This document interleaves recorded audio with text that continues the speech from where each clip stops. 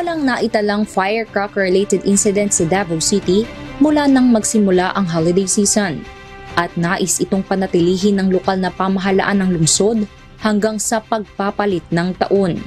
Dahil dito, mas paiigtingin ng Davao City LGU ang pagpapatupad ng City Ordinance 6002 o Firecracker Ban na epektibo mula pa noong 2002.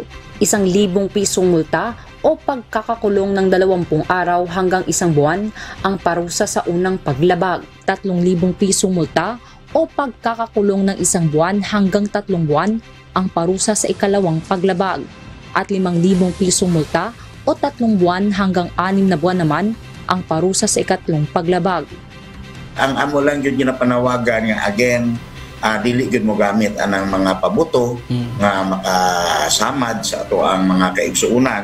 Inatasan na ng Public Safety and Security Command Office ang Davao City Police Office na i-monitor ang mga pampubliko at pribadong ospital sa kanilang area of responsibility upang agad na ma-report sa kanila at kay Mayor Sebastian Baste Duterte ang posibleng firecracker-related injuries.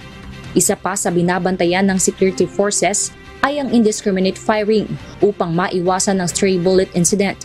Nakamonitor din ang mga pulis sa pagdagsa ng mga tao sa terminal, pasyalan at laban sa mga kawatan lalo't marami ang inaasahang magbabakasyon.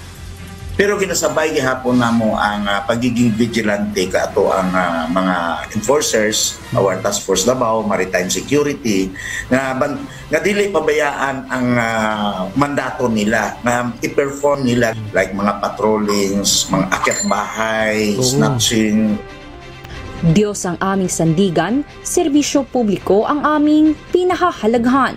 Lucille Ren, humahataw